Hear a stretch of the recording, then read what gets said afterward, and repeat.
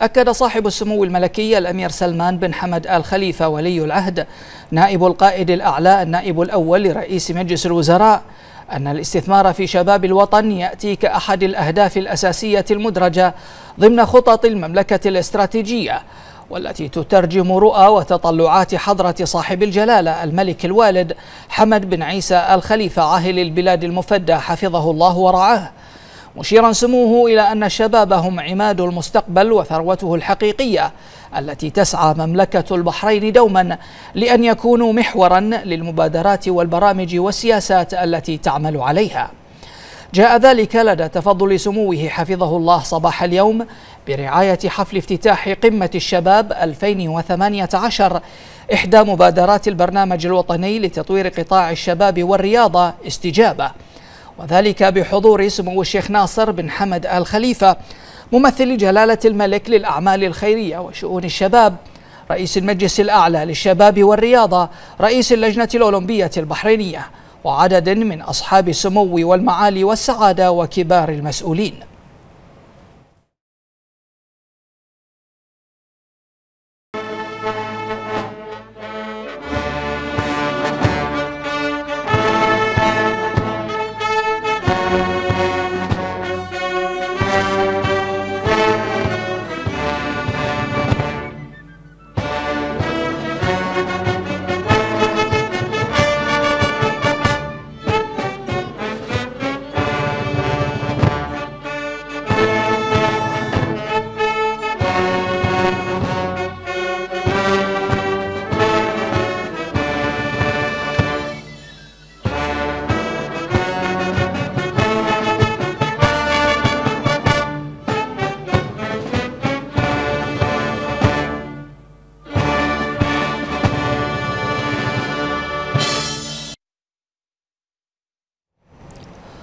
ونوه صاحب السمو الملكي ولي العهد نائب القائد الأعلى النائب الأول لرئيس مجلس الوزراء بأن قمة الشباب 2018 تعد فرصة حيوية لتنسيق المبادرات والبرامج والجهود المتعلقة بالشباب والرياضة والمساهمة في وضع الأطر الأساسية والاستراتيجية لقطاع الشباب والرياضة.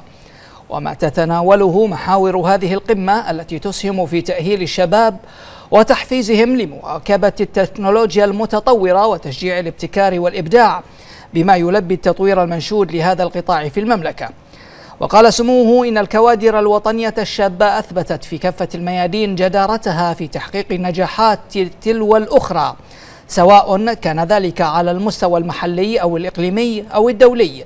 رافعين بذلك اسم البحرين عاليا. ونحن اليوم في هذه القمة نؤكد دعمنا المستمر لقطاع الشباب الذي سيظل محورا أساسيا في أولويات اهتماماتنا عبر تقديم كافة الدعم والمساندة التي يحتاجها الشباب لتحقيق تطلعاتهم المنشودة بما يخدم المسيرة التنموية الشاملة للوطن. مشيرا سموه بالاهتمام والجهود التي يوالي سمو الشيخ ناصر بن حمد آل خليفة بذلها في سبيل تنمية وتطوير قطاع الشباب والرياضة. منوها في هذا الصدد بما تحقق من نقلات نوعية في هذا القطاع الحيوي والمهم عبر العديد من المبادرات والبرامج الخلاقة والمبتكرة التي ستصل بشباب الوطن إلى الخير والنماء الذي يتطلع إليه الجميع. وشدد صاحب السمو الملكي ولي العهد نائب القائد الأعلى النائب الأول لرئيس مجلس الوزراء على أن تشجيع وتحفيز الشباب البحريني سيستمر دائما في كافة المجالات ليواصلوا الإبداع الذي عهده الجميع منهم باستكشاف آفاق جديدة عبر التعلم من التجارب المختلفة ليصنعوا عبر مبادراتهم المبتكرة واقتناصهم للفرص قصة نجاح جديدة في سماء إنجازات البحرين متمنيا سموه لقمة الشباب 2018 كل التوفيق والنجاح.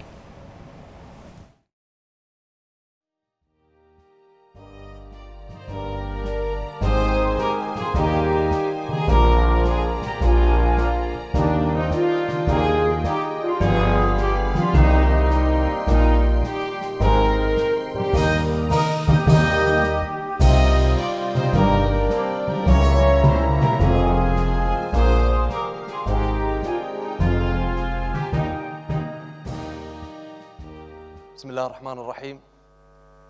سيدي سمو ولي العهد نائب القائد الأعلى نائب الأول رئيس مجلس الوزراء حفظك الله ورعاك أصحاب السمو والمعالي والسعادة أخواني وأخواتي الحضور الكرام السلام عليكم ورحمة الله وبركاته.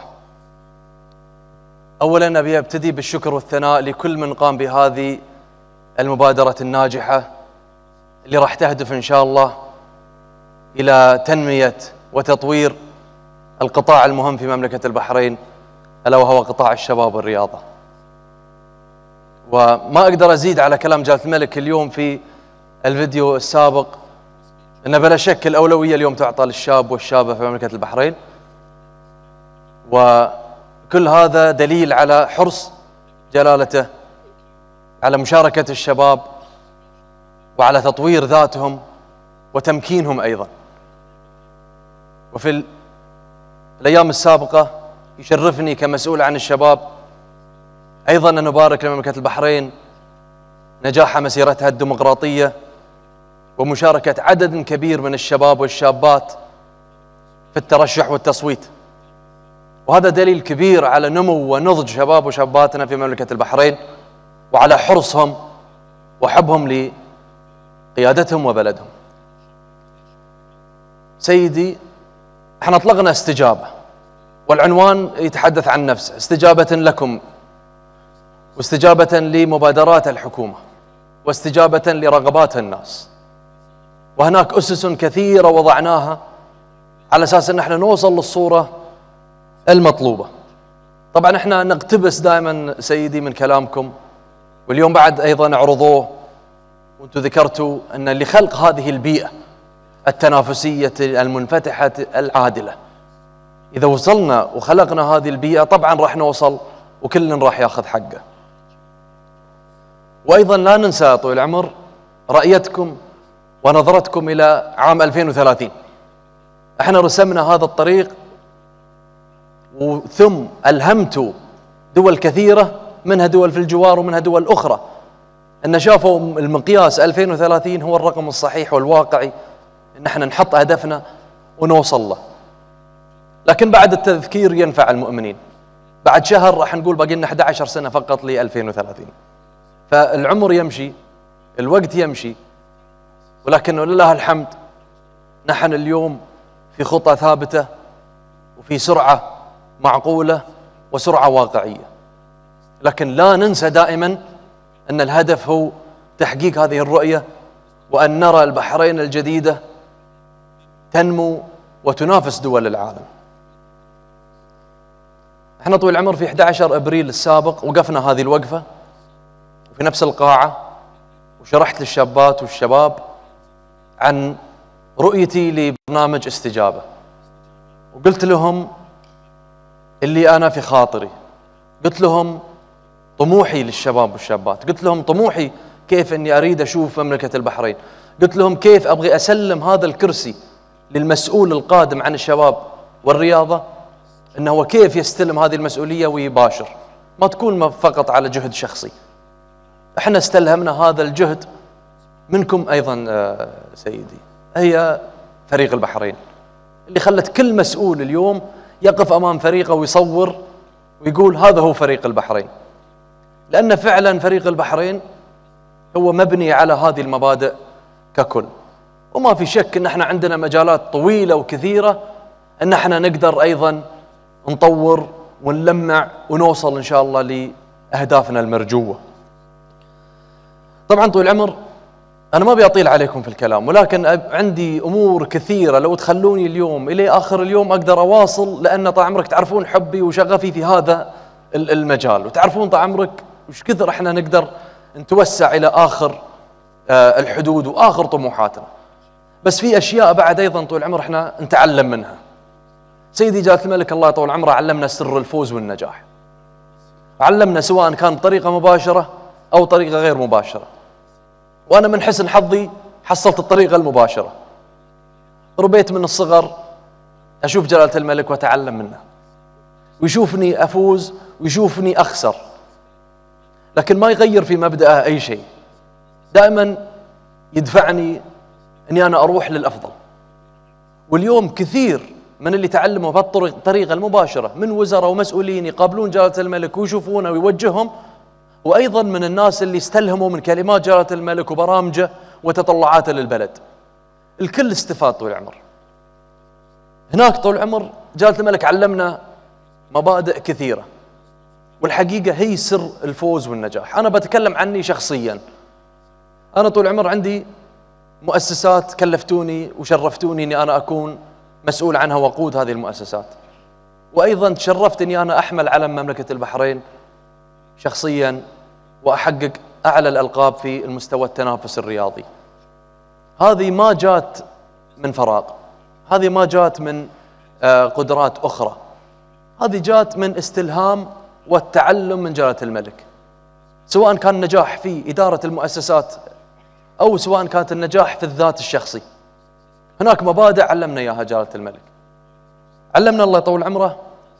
أولا الواحد يبني الرواية الإيجابية. الرواية مهمة.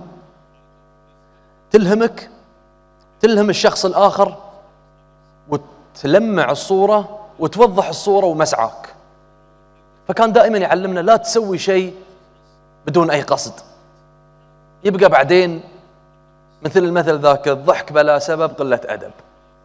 فنحن أيضا مسعانا لازم أنه يكون له سبب. هذه وحدة.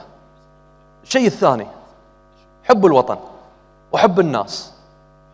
إحنا شو اللي خلانا اليوم كمستوى شخصي نبذل عرق الجبين ونسافر ونتغرب سواء كان في الدراسة أو الدورات أو التحديات أو المسابقات الرياضية؟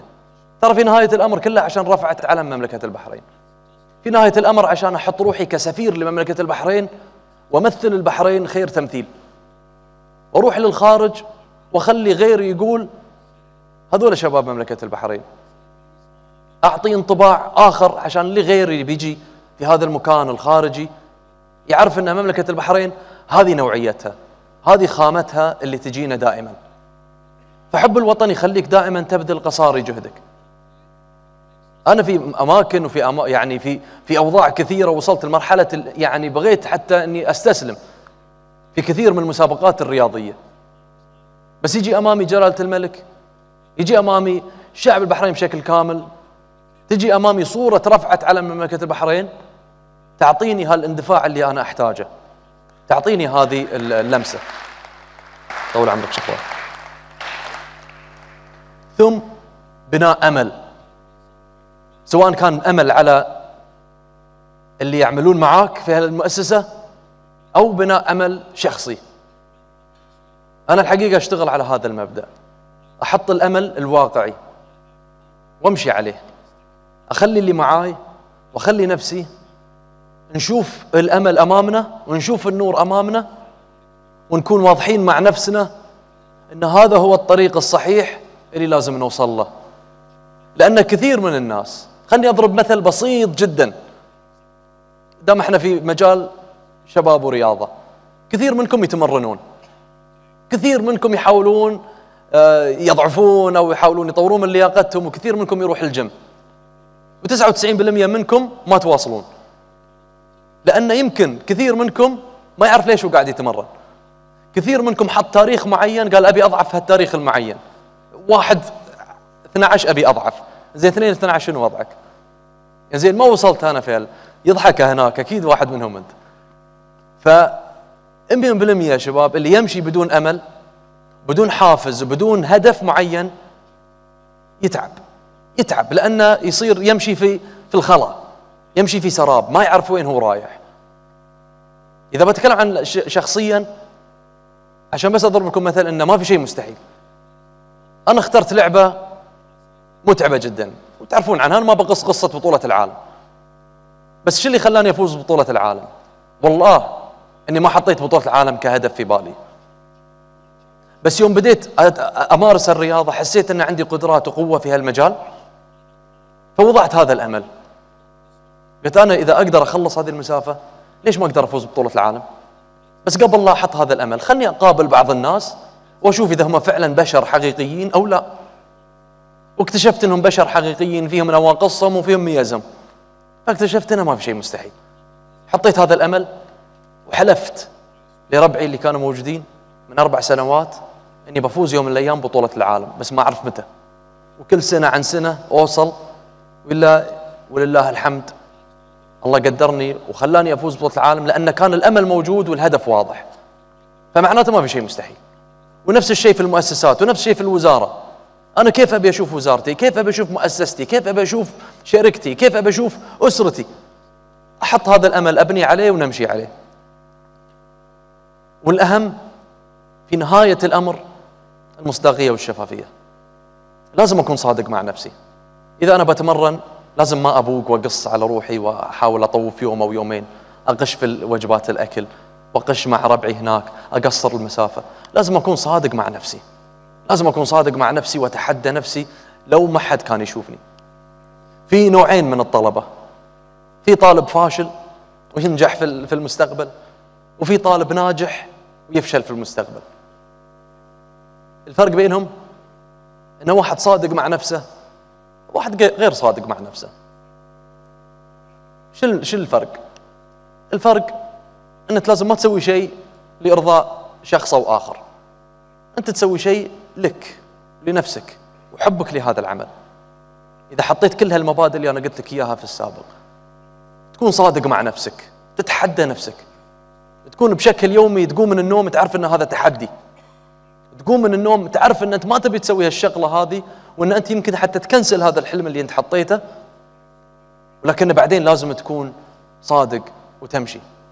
وإذا كنت أنت قائد أو رئيس أو مسؤول لهذه المؤسسه أيضا نفس الشيء ما يتغير المبدأ سواء كان شخصي ولا كانوا عندك تحتك مئات أو آلاف من الناس اللي أنت تكون مسؤول عنهم. المبدأ واحد ما يتغير.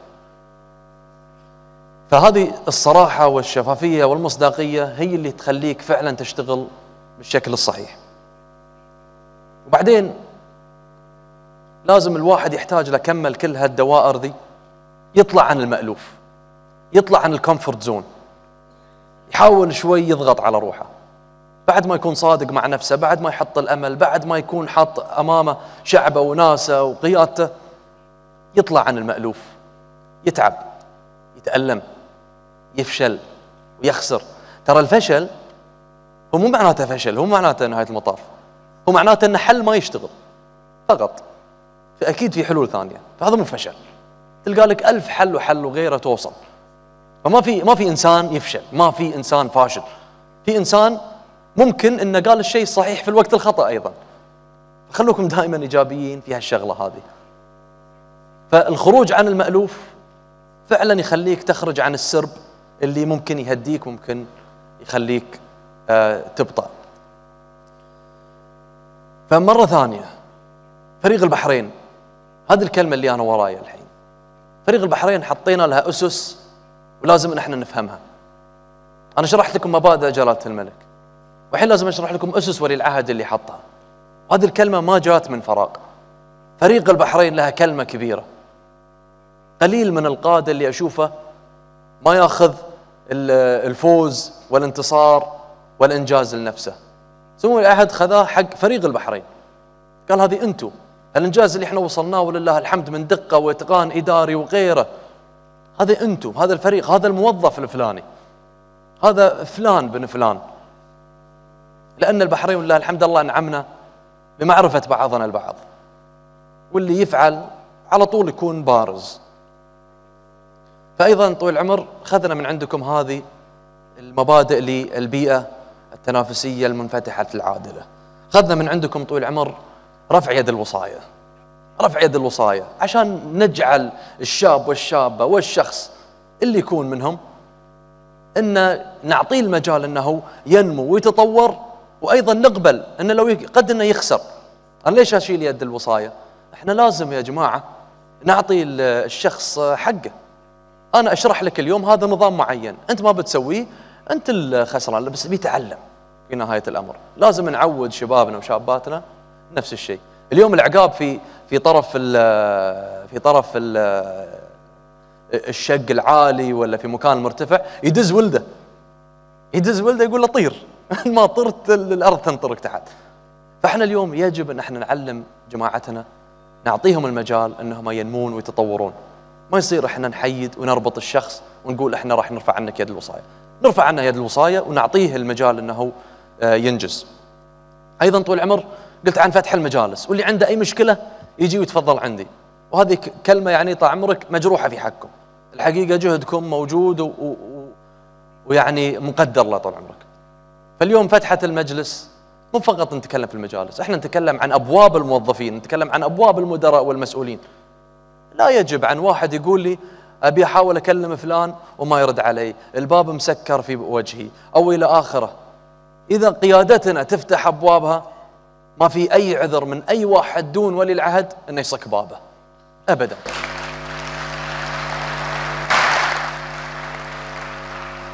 وأيضا طول العمر ذكرت آخر شيء هو إن إحنا لازم ما ننتظر. إحنا نشتغل مع بعضنا البعض حكومة وقطاع خاص وعلى شكل فردي وعلى شركة شركة وعلى إلى آخره من الداخل والخارج وإلى آخره. ما ننتظر ما نعطل المسيرة هذه ونجعل هالعجلة هذه تمشي.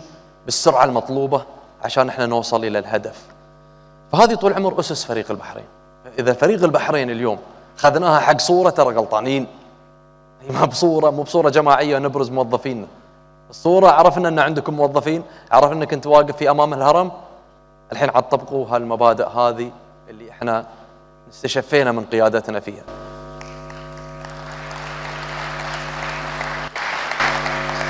طول عمر مبدأ الصراحة. وأنا طال عمرك مرات يعني أحط روحي شوي في أمور ما حاسب لا للدبلوماسية ولا لسياسة ولا أخرى لأن مستخدم غطاء الشباب الرياضة. فعذر الرياضة طول العمر دائما ما فيها سياسة. فإحنا طال عمرك دائما نتطلب إلى الصراحة والشفافية والانفتاح أيضا. فالاعتراف بالحق فضيلة. إحنا طال عمرك في مجلس الأعلى للشباب الرياضة. ما أقول لك أنه هو أفضل مجلس في العالم. ولا أقول لك أنه هو خالي من العيوب ولا أقول لك هو خالي من التقصير. لا هو أنجز هو عطى هو وجه صحيح واجتمعنا واشتغلنا مع أفضل الناس اللي أنا أعرفهم في هذا المجال. لكن أيضا للحين إحنا مقصرين طول العمر. للحين إحنا مشي ما مشينا في الدرب اللي 100% صحيح. يعني نسبته معقولة. طال عمرك درسنا درسنا الوضع. قلنا إحنا ليش مو بأفضل مؤسسة في العالم؟ ليش مؤسسة شباب الرياضه مو بأفضل مؤسسة في العالم وكيف إن إحنا ممكن نقدر نطور هذه المؤسسة. وجدنا طول العمر أن الحقيقة ما عندنا صلة مباشرة مع رؤية 2030 يعني باختصار إحنا رايحين في الاتجاه الصحيح بس مو ماشيين في الدرب السليم. يعني نمشي مرة يمين ومرة يسار ومرة نستذكر رؤية 2030 مرة ما نستذكر رؤية 2030 مرة حسب البرنامج حسب مرات المود.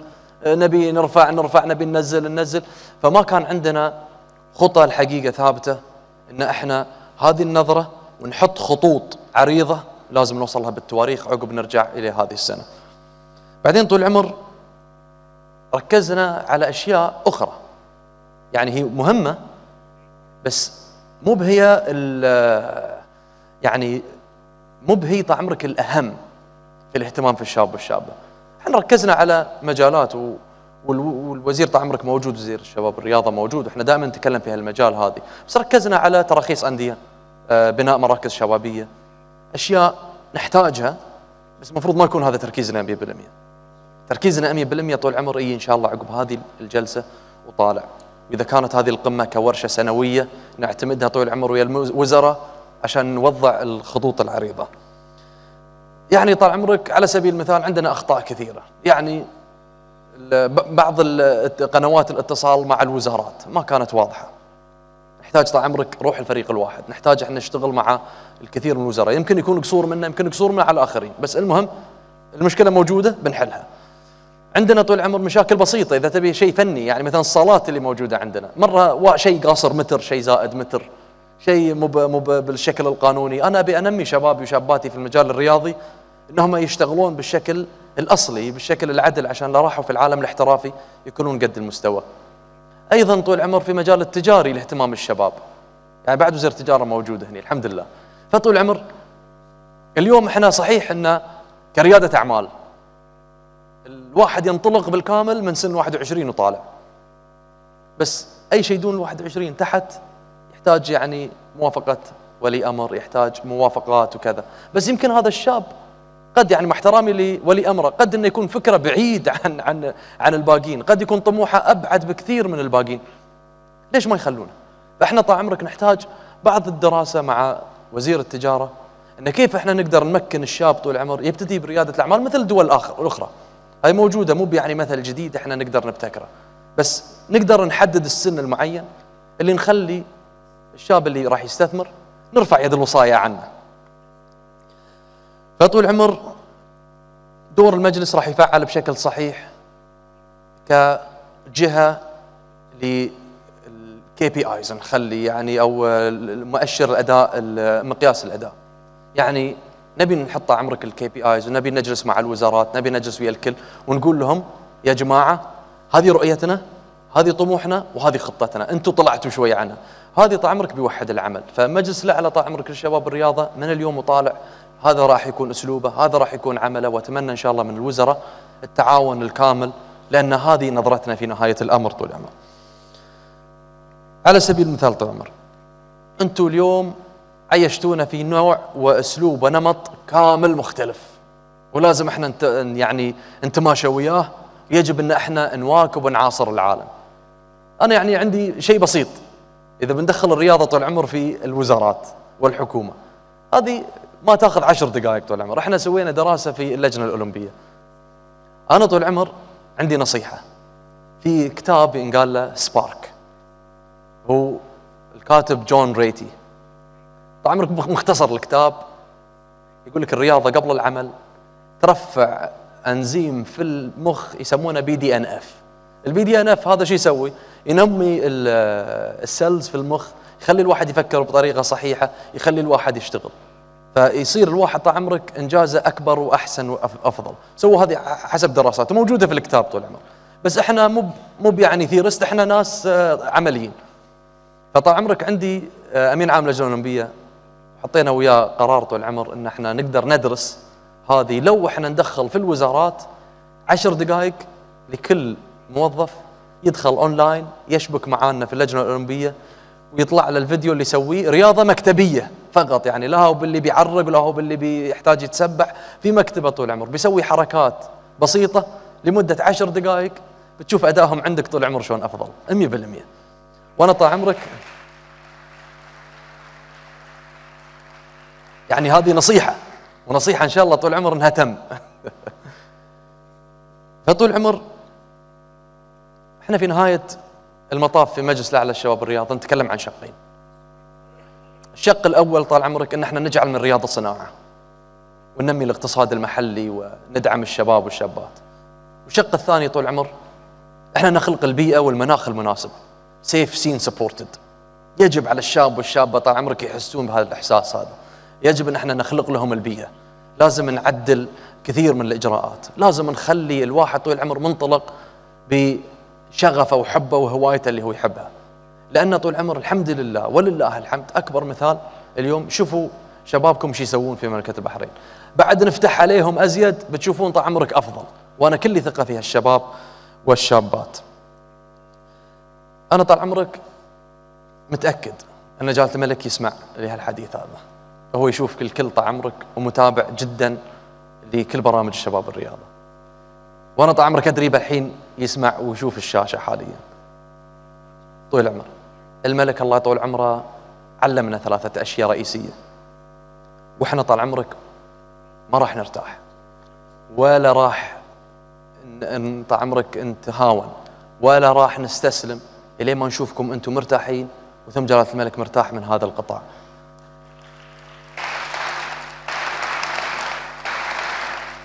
فطول العمر الملك الله طول عمره علمنا أشياء. إحنا يجب نحط وعود ونكون قد هالوعد هذا. وبعدين طول العمر نسلط الضوء على المقصر ونكرم المنجز. إذا قدرنا طال عمرك إحنا فعلا نمارس الثلاثة مبادئ الرئيسية. راح إن شاء الله تشوف الخط اللي نتكلم عنه باقي له 11 سنة راح حتى يقصر بني قبله. بس بننتظر شوي بنقول إحنا قلنا 2030 ما قلنا 2025 وقبله. فيا طويل العمر. إحنا الله يطول عمرك. في نهاية الأمر الهدف لازم نطلع بهدف ووعد أمام الكل. وأنا طال عمرك متعود الله يطول عمرك إني أحط لي هدف وأشتغل عليه. الآن صرت أنا باطل. من بعد ما فزت بطولة العالم ما عاد عندي هدف أشتغل عليه بشكل كبير. فطول عمر الهدف الرئيسي الآن ينتقل من الهدف الشخصي إلى هدف إن شاء الله للقطاع كامل. إحنا نريد مملكة البحرين. تكون فعلا مو بس مسمى عاصمة وملتقى ومضرب مثل للشباب الرياضة في دول العالم ككل. وأنا طال عمرك مو بوعد هذا أحلف لكم راح يصير بإذن الله. وإن شاء الله طول عمر أنا أشكر حسن استماعكم لي وارجو اني ما طولت عليكم لكن الحديث كثير طول العمر وأنا قاعد أختصر قد ما أقدر ولكن أيضا طول العمر بعد هذه الجلسة راح تصير عندنا أربع محاور رئيسية حضور الوزراء هناك أسئلة وهناك مبادرات وهناك طال عمرك فوائد كبيرة. أتمنى إن شاء الله من الحضور يكونوا موجودين معانا ويشاركون الوزراء والمسؤولين اللي موجودين. نستعرض إن شاء الله طال عمرك برامجنا اللي إن شاء الله بتسركم وفي شك بهالشيء. شكرا الله طال عمرك.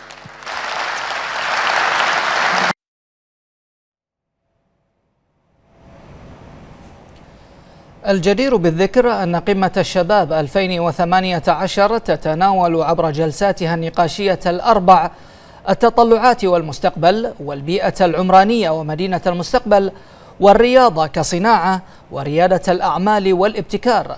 وتطرق عدة مسؤولين إلى دور وإنجاز الوزارات والهيئات العاملين بها وبرامجهم في سبيل دعم الشباب والرياضة التي وصلت إلى 177 برنامجا وطنيا.